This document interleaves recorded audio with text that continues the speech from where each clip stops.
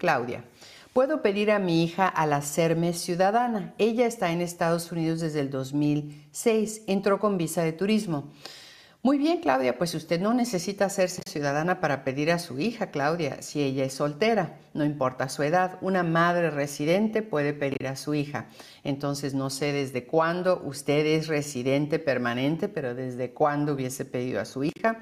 Ahora, si quiere esperar hasta hacerse ciudadana, porque ella es menor de edad, entró con visa de turismo y puede hacer un ajuste, porque es otra ruta, ¿no? Hay muchas maneras de emigrar ante un juez, en la embajada o dentro de Estados Unidos con UCIS. Entonces, si su hija entró con visa de turismo y es menor de 21 años, le conviene más esperarse hasta que se haga ciudadana americana y claro, la podría pedir al hacerse ciudadana americana.